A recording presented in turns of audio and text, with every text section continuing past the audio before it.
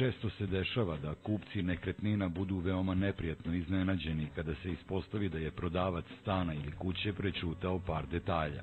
Da bi građanima olakšao proveru nepokretnosti i sprečio neprijatne situacije, Republički geodetski zavod je uveo besplatni internet servis e-katastar.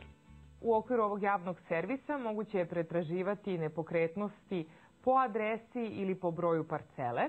Podaci koji se nalaze u aplikaciji e-katastar ažuriraju se jednom nedeljno i oni su sa ažurnošću od nedelju dana u potpunosti identični sa sadržajem podataka koji se nalaze u katastru nepokretnosti. E-katastru može da se pristupi sa naslovne strane sajta Republičkog geodetskog zavoda. Kada uđete u elektronski katastar, potrebno je da izaberete opciju Javni pristup. Zatim je potrebno da izaberete opštinu na kojoj se nalazi nepokretnost, a nakon toga pretragu možete da vršite ili po broju parcele ili jednostavnom pretragom po adresi. Maju Radovanović smo pitali i zašto nije omogućena pretraga i po drugim kriterijumima, kad za to već postoje softverska rešenja. Radi zaštite građana nije moguće pretraživati podatke u javnom uvidu na osnovu imena i prezimena, e, niti po matičnom broju. Da biste bili sigurni da je vlasništvo čisto, trebalo bi da proverite da zemljište na kojem se nalazi kuća ili zgrada nema tereta ili zabeležbi. Potom je potrebno da proverite i da li i sam objekat koji želite da kupite ima nekih tereta ili zabeležbi.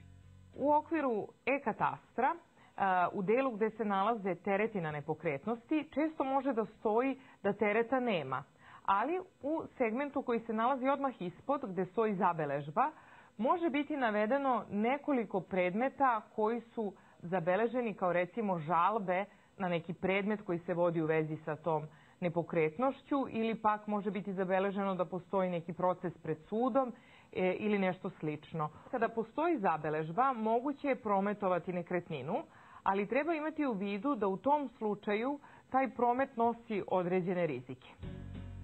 Na primer, Radeta Radanović je kupio stan od Eurobanke na javnoj aukciji suda, za koji na sajtu e-katastra piše da nema tereta. Ipak Radeta ne može da se uknjiži kao vlasnik jer postoji zabeležba o sporu u vezi sa stanom koji je želeo da kupi, a koja je vidljiva na e-katastru. Stranka koja se odluči za kupovinu stana na kome postoji zabeležba o recimo postojanju nekog spora pred sudom, mora da ima u vidu da će ishod tog spora uticati eventualno na njeno vlasništvo nad stanom koji je kupila. U slučaju Radete Radanovića to znači da će tek kada državni organi odluče po ranijoj žalbi u vezi sa stanom koji je kupio, znati da li će moći da se upiše kao vlasnik stana ili ne. Kada se radi o eventualnom dokazivanju vlasništva putem e-katastra, podaci koje biste eventualno odštampali sa sajta ne mogu da služe kao zvaničan dokument. Ta dokumenta nisu, da tako kažemo, pravno validna, ona samo daju uvid u podatke. Ako kupujete stan ili kuću, ne morate da platite nekome da proveri nekretninu umesto vas. To očigledno možete i sami brzo da učinite tako što ćete da posetite sajt Republičkog geodetskog zavoda. Ako se odlučite da kupite nekretninu, još uvek je potrebno da uzmete izvod iz lista nepokretnosti.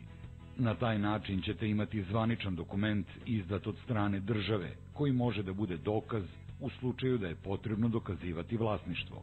Ako na izvodu ili na sajtu postoji bilo šta upisano u delu tereti ili zabeležbe pre kupovine takve nekretnine, potrebno je da konsultujete nekoga ko je stručan.